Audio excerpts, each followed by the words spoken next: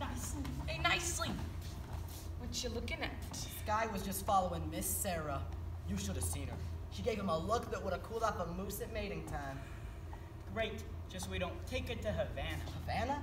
He couldn't take this doll to New Rochelle. Yeah, you. Wait! Where's Nathan? Shouldn't he be lining up the game by now? I don't know. I suppose trying to see Miss Adelaide. She's mad at him. Again. That Miss Adelaide, she always takes his mind off of honest work. Of course, we can count on a great businessman like Nathan to go and fall in love with his own fiancee. Benny, that is his weakness. And we ought to be tolerable, because I am told it is a worldwide weakness. Look, what's playing at the Roxy? I'll tell you what's playing at the Roxy. Picture about a Minnesota man so in love with a Mississippi girl that he sacrifices everything and moves all the way to Biloxi. That's what's playing at the Roxy.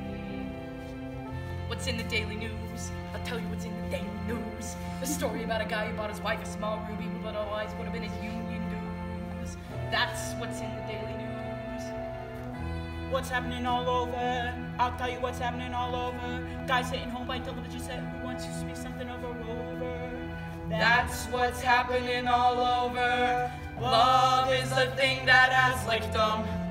And it looks like Nathan's just another victim. Yes, sir! When you see a guy reach for stars in the sky, you can bet that he's doing it for some doll. When you spot a John waiting out of the rain, chances are he's insane, as only a John can be for a Jane.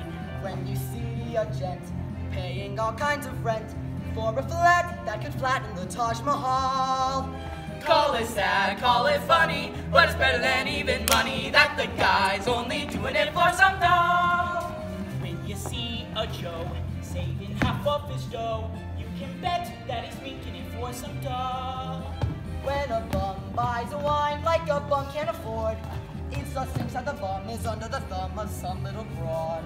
When you meet a mug lately out of the jug, and he's still lifting platinum folly raw. Call it hell, Call it heaven. It's a probable 12 to 7 that the guy's only doing it for some doll. Let's go, fellas. Look at that doll. She's gorgeous.